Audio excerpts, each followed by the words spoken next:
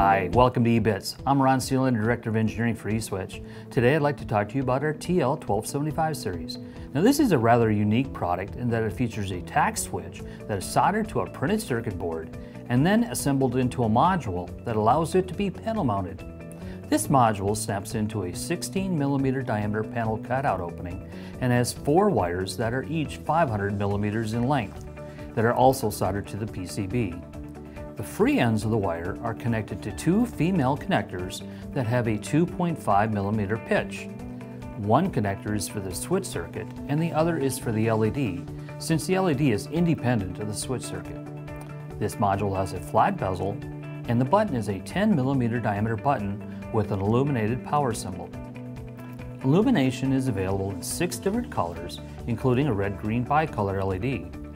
The actuation force is 350 grams and a cycle rating of 100,000 cycles.